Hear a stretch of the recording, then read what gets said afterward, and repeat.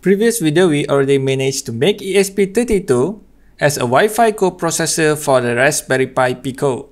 It is already connected to the Wi-Fi network and made a request to get the latest Bitcoin price. This time we try to create an IoT application using Adafruit.io and of course we program it using CircuitPython. Before that, please like, share, subscribe, and press the bell to get the latest update from us.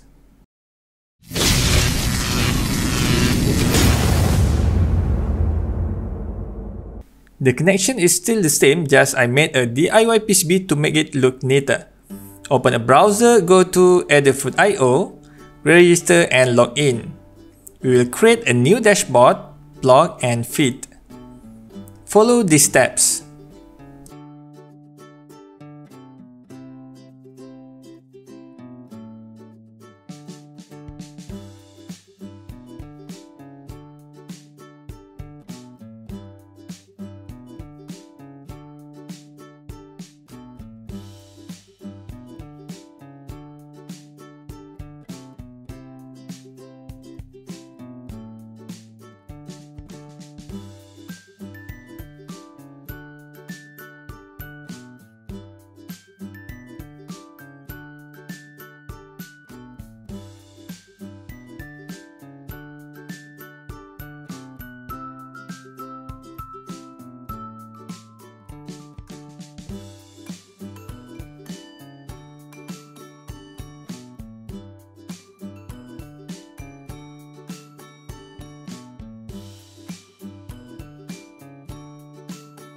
Then we need to add this line in secrets.py.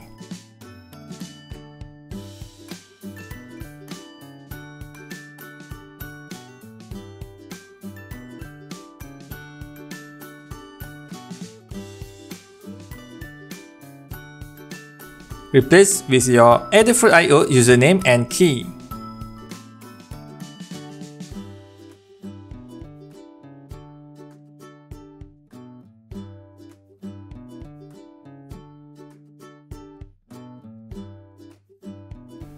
Next, use the code example provided and replace it in code.py.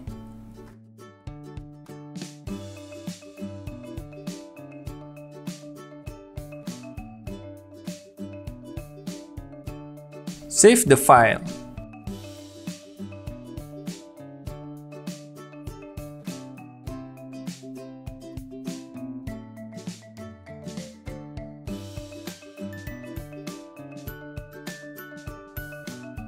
This code example will read the temperature through the RP2040 chip and send it to Adafruit.io every 30 seconds. You can also control the built-in LEDs on the Raspberry Pi Pico via a button on the Adafruit.io.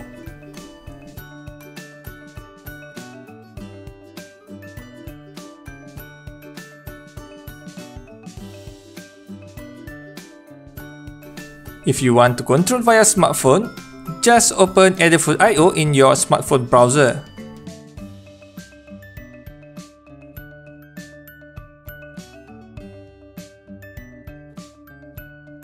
So that's all for today. I'm Idris from Cytron Technologies. Good luck and thank you for watching.